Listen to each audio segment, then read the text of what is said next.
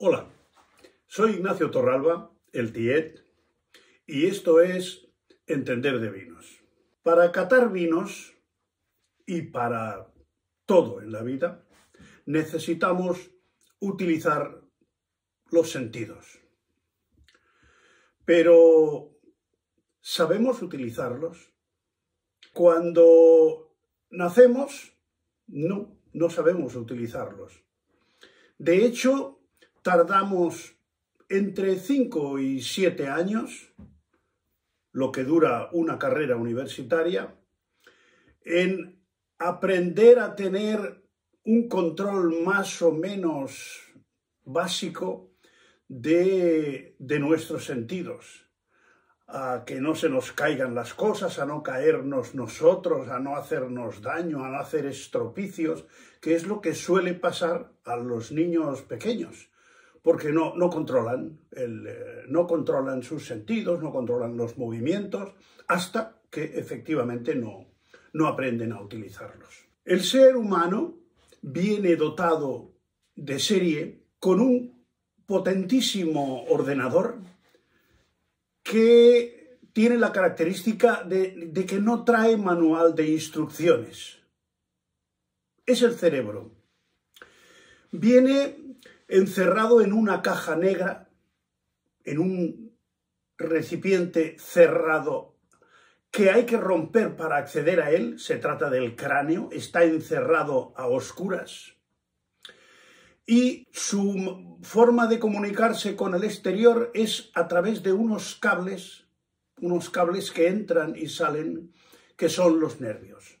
Esos cables, curiosamente, hay unos que traen señales al cerebro y otros que llevan órdenes. Unos son los nervios sensoriales y otros son los nervios motores. Unos reciben información y los otros mandan órdenes.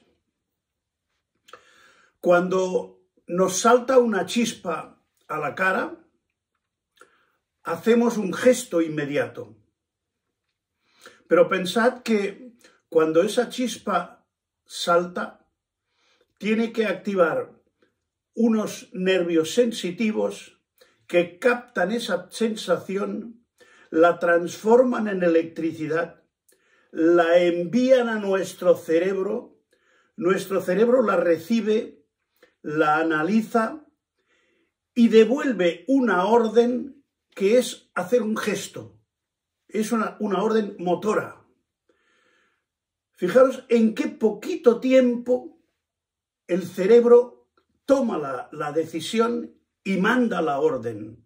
Es de una rapidez eh, fantástica. Solamente para gobernar la cabeza, cara, cuello, boca, sentidos, etc., tenemos 12 pares de, de nervios.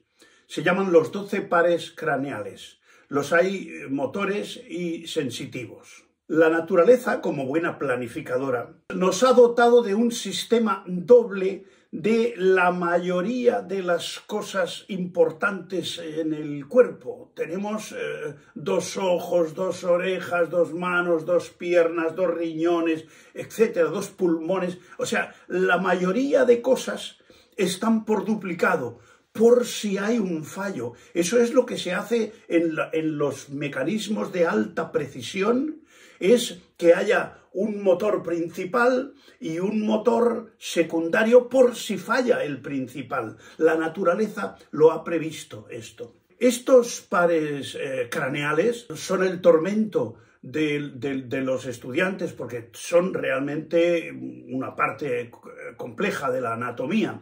Yo recuerdo en mi, en mi etapa de estudiante de medicina que nos hacíamos eh, un croquis como este para saber qué partes de la cara enervaban o eh, comunicaban con el cerebro cada una de las, de, las zonas. Eh, me acuerdo que había el olfatorio, el óptico, el óptico-motor, el troclear, el trigémino, etc. Hay 12 pares. La vista no está en los ojos, la vista está en el cerebro. Los ojos son unos sensores. Fijaros que hay ciegos que tienen los ojos en perfecto estado, pero tienen una lesión cerebral en la zona del cerebro que percibe las imágenes. Los hay que ni siquiera eso, tienen dañado el nervio óptico, el cable que conduce las sensaciones de la vista hasta el cerebro. Pero el ojo está en buenas condiciones, en, algunas de las, de las, cegueras, claro. Esto hace que el, tema es mm, sumamente, sumamente complejo. Tampoco se conoce en su totalidad todo el, todo el proceso. Eh, tampoco, lógicamente, el oído está en las orejas, ni el tacto en la piel, ni el gusto en la boca, eh, ni, ni el olfato en la nariz, como podéis suponer. Todas estas zonas son simples receptores que mandan impulsos eléctricos que el cerebro analiza, toma decisiones los centros sensoriales están ocupando mm, pequeñas zonas específicas de la corteza cerebral que prácticamente es el envoltorio del cerebro. O sea, es una, es una capa milimétrica que eh, envuelve a todo el cerebro y es, tiene una importancia vital, mucho más que algunas partes internas del, del cerebro. En esa zona, en la materia gris, se perciben las sensaciones, se radica la imaginación, el pensamiento, el juicio, la toma de decisiones, el núcleo central del, del ordenador. Eso es la parte pensante del ordenador. Lógicamente, para eh, catar y para degustar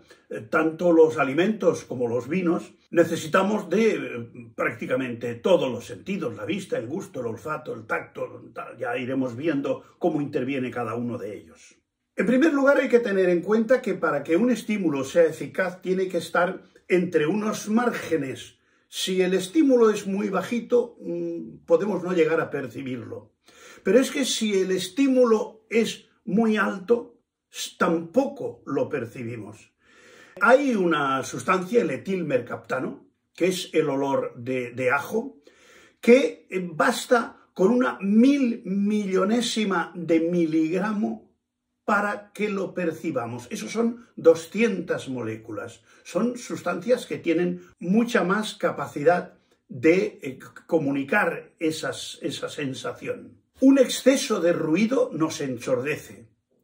Si hay mucho ruido, si un altavoz está muy alto, no somos capaces de entender lo que dice el altavoz. Un exceso de luz nos ciega.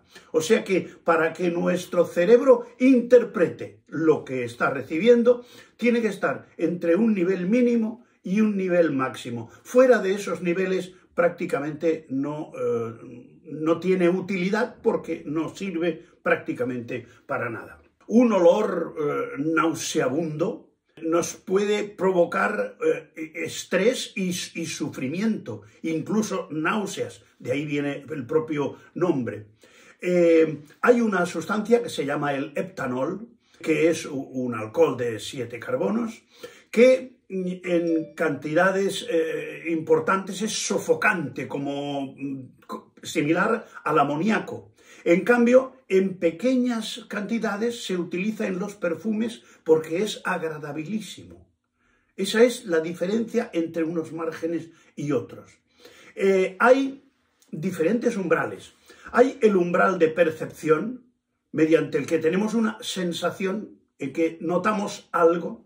Después hay un umbral de identificación, que es cuando decimos, sí, esto es tal sonido o esto es tal olor.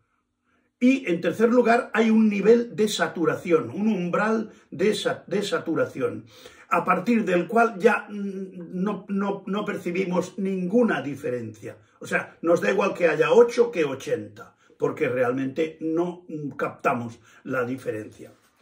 Las sensaciones son objetos mentales separados del objeto externo. Están en el cerebro son las elabora el cerebro.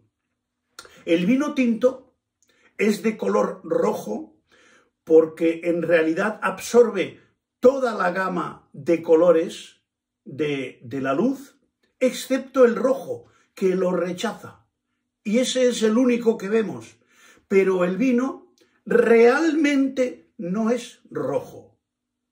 Tiene la capacidad de rechazar el color rojo de la luz. Lógicamente el vino, si no le da la luz, no es de ningún color, es negro como todo.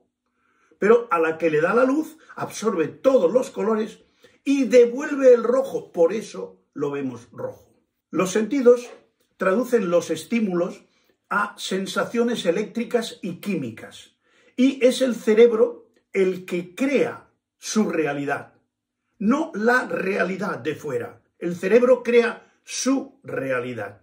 El ser humano tiene entre 30.000 y 100.000 millones de neuronas distribuidas entre el sistema nervioso central y el sistema nervioso periférico.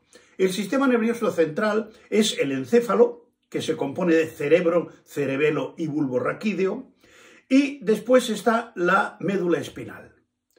Y el sistema nervioso periférico está compuesto por el resto de los órganos y el resto de los nervios que tenemos en todo el resto del, del cuerpo.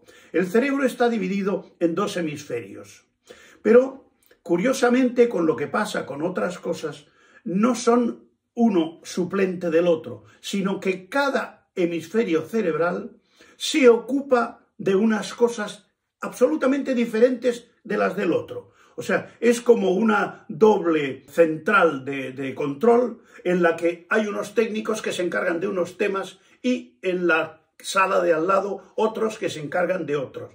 Eh, las dos salas son iguales y a lo mejor tienen el mismo número de técnicos. El hemisferio izquierdo se encarga de todo lo referente a la lengua, las matemáticas y el análisis de las cosas.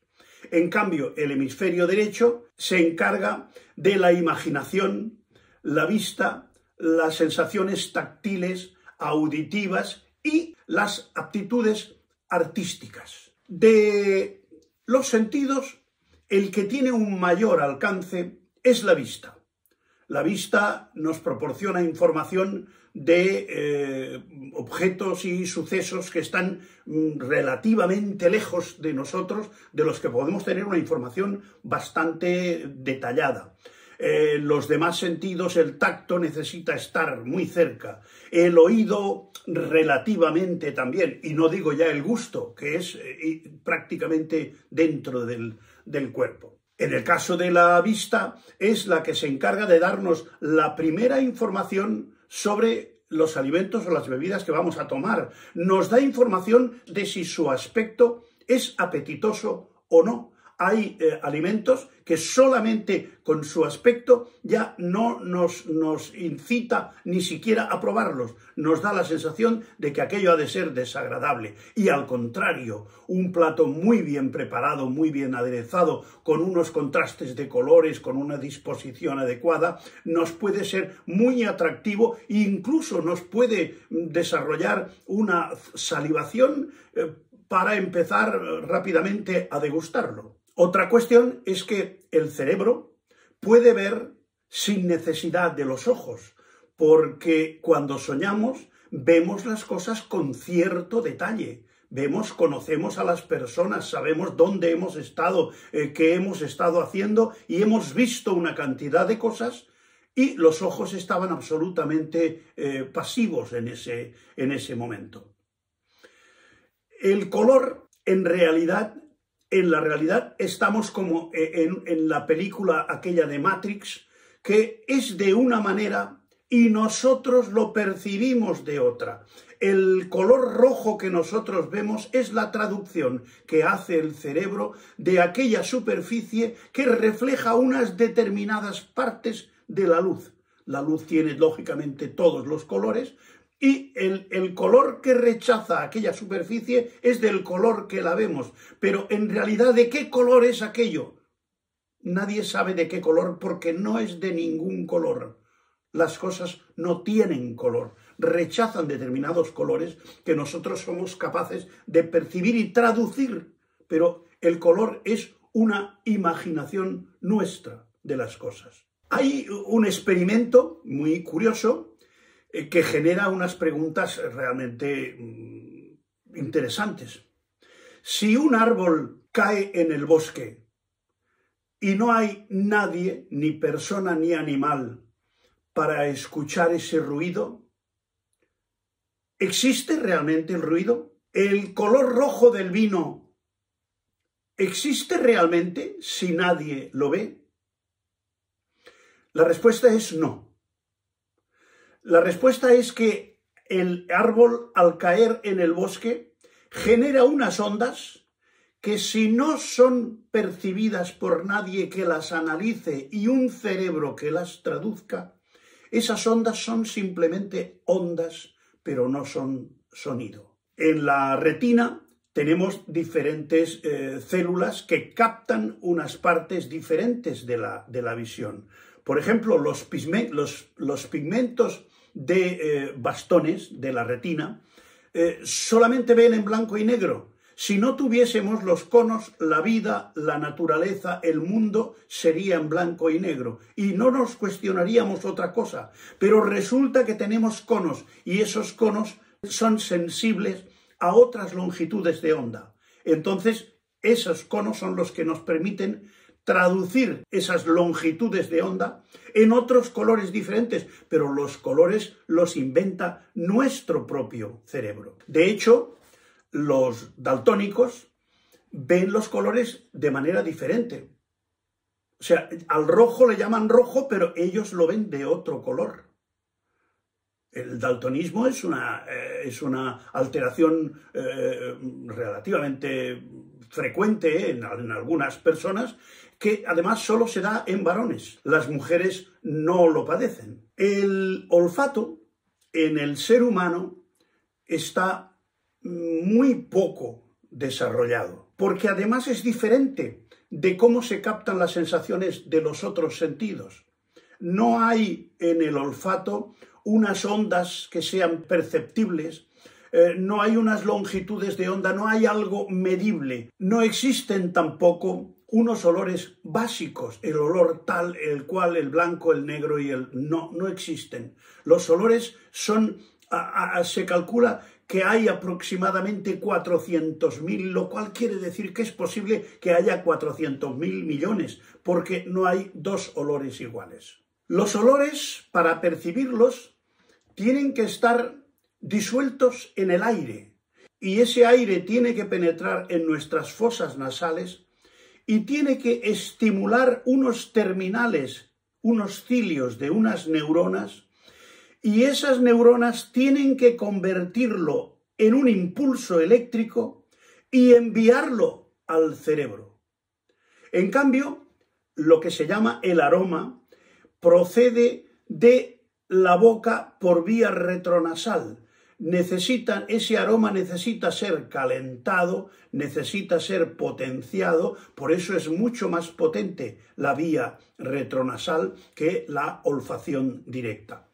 Nuestro sistema olfativo ocupa una zona de, la, parte eh, profunda de la nariz que ocupa unos dos centímetros cuadrados o dos centímetros y medio y en esa, en esa zona tenemos de 6 a 10 millones de terminales nerviosos, de neuronas.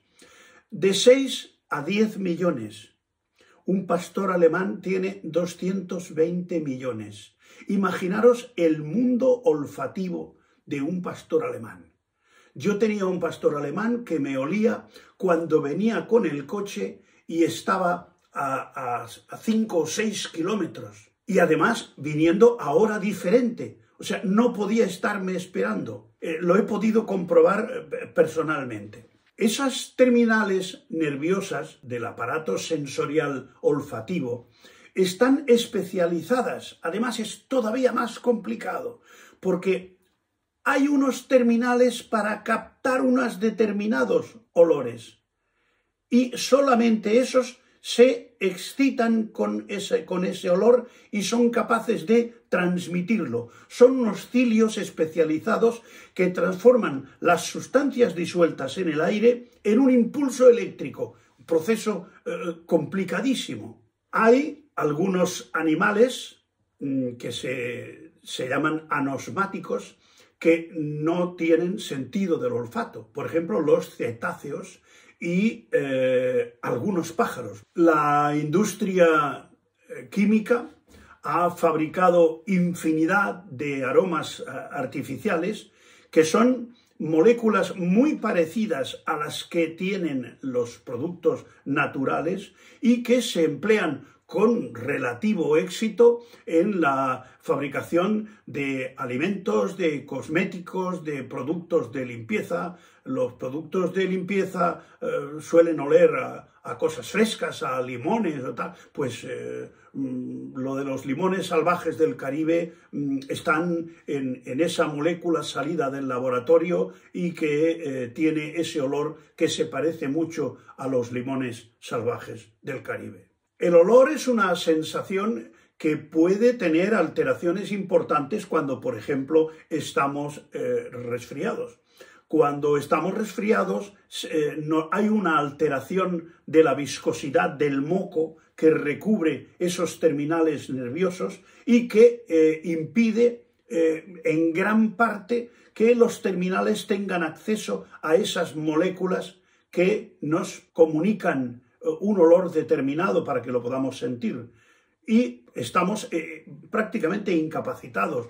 Un catador resfriado simplemente no puede catar o puede degustar, pero de una manera muy superficial. Está demostrado que las mujeres tienen una mayor capacidad eh, olfativa y mucho más sensible. O sea, no solamente perciben más aromas, sino que de una manera mucho más eh, detallada.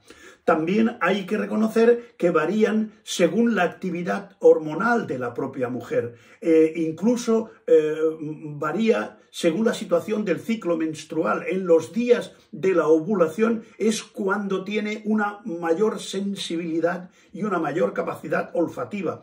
Eh, los que hemos tenido a nuestra esposa embarazada, hemos visto que eh, cuando estaban en estado había olores que no podían soportar, que les, eran absolutamente repulsivos. Y eso es porque su estado hormonal les producía alteraciones en la sensación de, percepción del olor. Los olores tienen lo que se llama una memoria episódica. Un olor puede recordarnos un momento que creíamos que teníamos olvidado y nos lo puede recordar no solamente de lo que pasó, sino reproducir el estado emocional que teníamos en aquel momento. Yo tengo una sensación, recuerdo que siendo muy pequeño, iba cogido de la falda de mi madre y mi madre gastaba un perfume que se llamaba joya de mirurgia.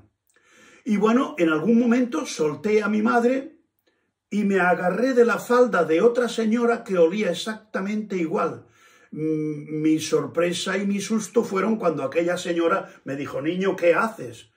Yo me encontré en ese momento mm, desorientado, confundido, pero ¿qué pasa? Si, si hueles como mi madre. Bueno, pues eh, no lo era, el olor sí. Se ha descubierto que las neuronas olfativas tienen una vida muy limitada suelen durar entre cuatro y seis semanas. Se van reemplazando a lo largo de, la vida. La capacidad olfativa máxima se consigue sobre los 30, entre los 30 y los 40 años. Se aguanta hasta los 50 o los 60 y a partir de los 60 años vamos perdiendo eh, capacidad olfativa. Eso se ha demostrado en estudios científicos hechos con mucha, con mucha precisión. Hay sabores que tienen más aceptación que otros. ¿Y por qué es? Pues, por ejemplo, el sabor dulce suele gustar en general porque es, nos da información de que de ahí vamos a obtener calorías. Es una esperanza de obtener nutrición. Esas calorías de las sustancias dulces lo llevamos ya en nuestra propia dotación genética. En cambio, el amargo es un sabor que nos suele repeler. ¿Por qué? Porque la mayoría de las sustancias tóxicas suelen tener un sabor amargo. El gusto es un sentido dependiente. Depende de eh, auxilio que le dan los otros sentidos. Por ejemplo, necesitamos auxiliarnos para el paladar del sentido del olfato. Cuando estamos resfriados, lo que se nos atrofia no es el gusto, es el olfato. Pero sin olfato, la sensación gustativa queda muy, muy empobrecida. El ser humano se ha contado que tiene entre 100 eh, y 400 papilas gustativas por centímetro cuadrado en las zonas sensibles de la lengua. Eh, el que tiene 100, pues no tiene la suerte de captar las sensaciones eh, de, sabor que, capta el que tiene 300 o 400. O sea que esto es una dotación que llevamos eh, genéticamente y es como el que mide metro 40 o el que mide metro 70. no se puede hacer más. Tenemos lo que tenemos y con eso hay que tirar para adelante.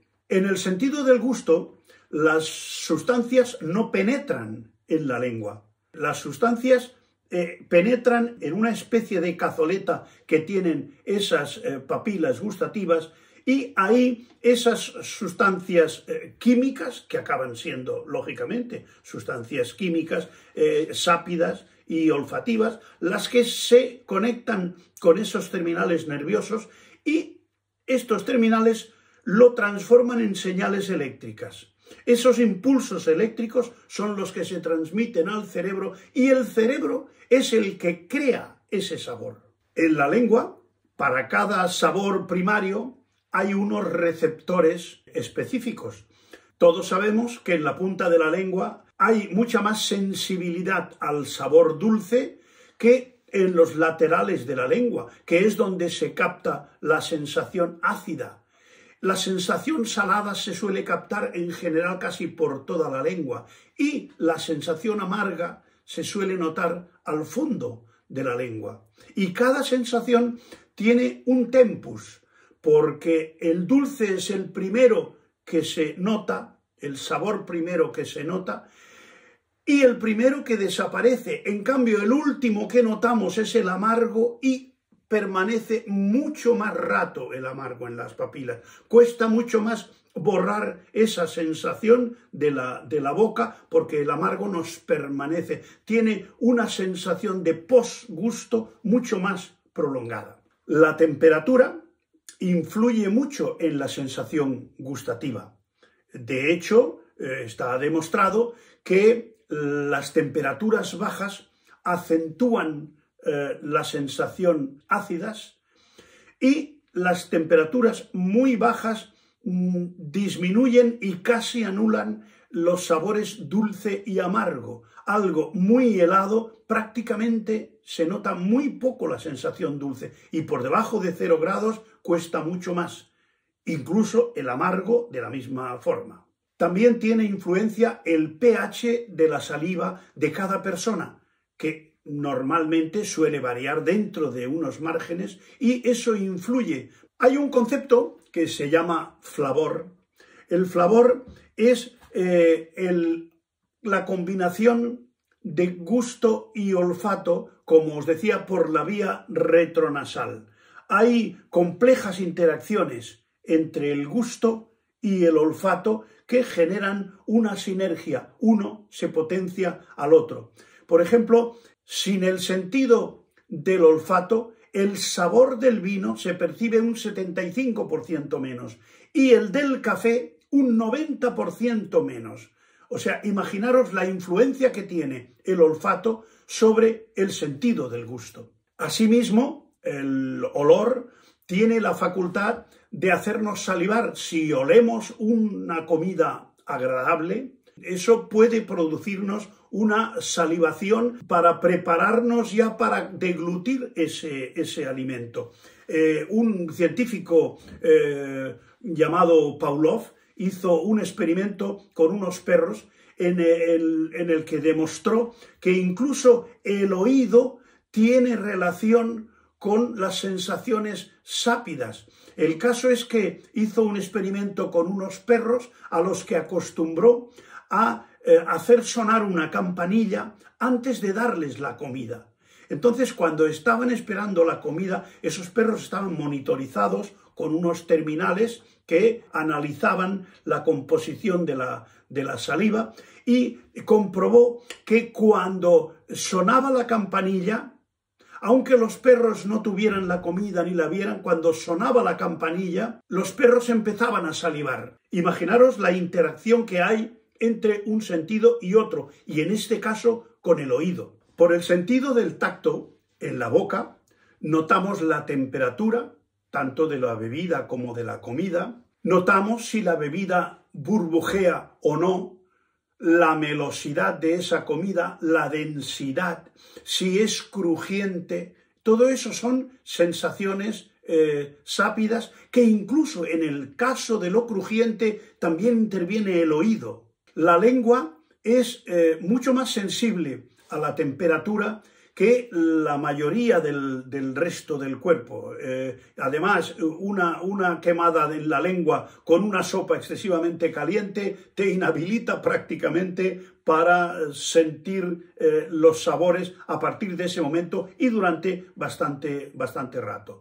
También el sentido del tacto en la boca nos eh, hace percibir la llamada astringencia. La astringencia es cuando los taninos o cualquier otra sustancia astringente coagulan la mucina, que es una proteína que hay en la saliva, y nos quita la lubricación de la boca, esa, esa sensación de fluidez en la boca, que determinamos como astringencia, la boca seca. La textura. Un cuerpo soluble en la boca tiene una sensación eh, táctil. Los líquidos con sustancias disueltas, como el vino, tienen una sensación gustativa. La textura se refiere sobre todo a la viscosidad, eh, hay eh, alimentos o bebidas que son fluidos, como el agua o el vino, espesos, como el chocolate o un Pedro Ximénez muy viejo, y viscosos, como la miel o la leche condensada. La sensación untuosa del glicerol en el vino es opuesta a la astringencia, en la boca, la evaporación del etanol nos produce una sensación pseudotáctil, que es un ardor. Ese calentor, sobre todo la persona que no está habituada a tomar bebidas alcohólicas, cuando toma un destilado eh, un poco fuerte en alcohol, nota una sensación de quemazón, casi un dolor, casi una, una molestia y es la falta de costumbre también, pero es una sensación llamada pseudotáctil, no es gustativa. El famoso nervio trigémino que eh, se encarga de sensaciones tanto sensitivas como motoras de la cara y de la boca, tiene una gran cantidad de ramificaciones. Entre ellas hay las que perciben las sensaciones picantes y las sensaciones ardientes. El trigémino es un nervio que ha dado no pocos disgustos a mucha gente que han padecido la llamada la neuralgia del trigémino. Em, se han dado casos de gente que incluso se ha llegado a, a tirar por la ventana, se han suicidado por el dolor insoportable que les producía la neuralgia del, trigémino. Eh, durante un tiempo se trataba eh, incluso eh, anulando la sensación de ese nervio por inyección de alcohol en un ganglio que tiene el nervio sobre a la altura del oído que se llama ganglio de Gasser. Se tenía prácticamente que adormecer ese nervio para que la persona pudiese soportar la sensación molesta de los dolores de la neuralgia del, del trigémino. Al catar un vino estamos haciendo una operación eh, sumamente compleja porque estamos em, analizando un producto eh, con la mayoría de los sentidos. Ahí intervienen prácticamente todos. Tiene que intervenir hasta el sexto sentido, que es la memoria, para compararlo con sensaciones gustativas y olfativas anteriores, que son las que nos darán una idea de si ese producto está mejor, es peor, si nos gusta o no, etc. La memoria es fundamental para analizar sabores y olores. A quien nunca ha probado una naranja no sabe cuál es el sabor de la naranja. Eh, cuando vuelves a probarla dices, ah, sí, este es el sabor, aquel, el de la naranja. Por eso la actividad de un catador es tan sumamente compleja, por otra parte discutible, porque es una sensación subjetiva. No hay en la cata verdades absolutas. Todo es discutible. Yo sé que esta serie de explicaciones pueden resultar un poco complejas, sobre todo para quien nunca haya oído mm, algunos de los términos que he comentado, pero realmente es necesario saber cómo funciona la maquinaria, cómo funciona el instrumento que es nuestro cuerpo, nuestra parte sensorial, para poderla utilizar con más precisión y poder eh, contribuir también a entender de vinos.